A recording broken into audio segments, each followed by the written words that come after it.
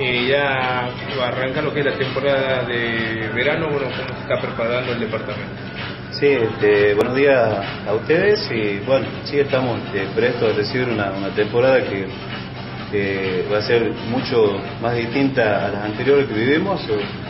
Bueno, que las cuestiones climáticas este, nos, dieron un alivio con el tema de los ríos, este, que es un atractivo muy grande que tenemos en el departamento, así que bueno, el primero de,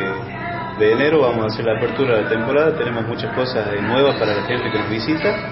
eh, en lo que hace a, servicios, este, tenemos más cambios privados en la localidad de Guayamba, eh, se logró la erradicación total de lo que fue el camping municipal de Guayamba, en donde funciona, va a funcionar este, esa obra la vamos a inaugurar del 24 al 30 de diciembre. En esos días es un complejo recreativo que es para niños, jóvenes y adultos, en donde se colocaron tres piscinas, tiene una cancha de, de playero, una cancha de básquet techada, también una, plaza de una plaza de salud con, muchos gimnasios y, también los juegos para los niños. Y le da un cambio total a, lo que era eh, Guayama antes, yo siempre lo llamé a ese cambio municipal como una infección para Guayama porque en realidad no dejaba ningún este, rédito económico a la gente del lugar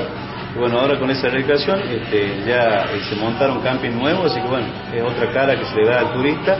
y este, a la gente que nos visita. También hace dos días atrás es que se colocó ya la máquina del cajero automático, un servicio que tan esperado por, por, por toda la gente que nos visita y, más por la gente del departamento. Bueno, como, como lo decía anteriormente, en la cuestión económica realmente nos beneficia muchísimo porque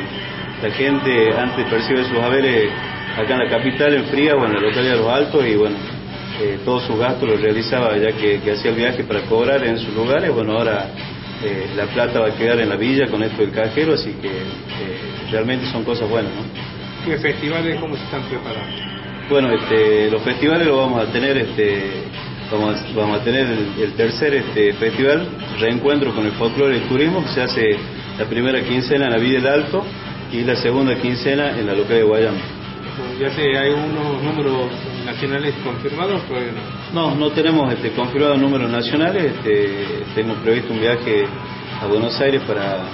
para fijar ya algunos números, pero de todos modos este, siempre se trabajó con la gente de la región y, y la gente lo disfruta porque yo creo que los lugares este, turísticos que, tenemos en, el este de Catamarca, la gente que nos visita quiere ver nuestras culturas y bueno, tenemos que mostrar a la gente nuestra. Intendente, ¿se ha pedido la asistencia de vialidad para el tramo desde la cumbre del Alto? Sí, este, ya hace unos días atrás se, cambió el jefe de la delegación este de, vialidad. Eh, realmente eh, lo esperaba con ansia ese cambio y bueno, se logró, así que estamos trabajando en conjunto con, con vialidad y es algo que que deberíamos haberlo hecho hace bastante, bueno, este, con el que estaba anteriormente no se podía trabajar, y bueno, con la persona que está ahora a cargo este, estamos desarrollando un trabajo en conjunto, eh, porque como isla no puede funcionar nadie, que bueno, el trabajo en conjunto yo creo que fortalece la necesidad de la gente, ¿no? ¿El sistema de agua de los Pedrazas? El sistema de agua de los Pedrazas, este, ya lo que hace el grueso de la obra está terminado, ahora lo que se está haciendo son las derivaciones a los domicilios, así que esa es una gran obra también que beneficia a la zona alta del departamento. Gracias, Ariel. Gracias a ustedes.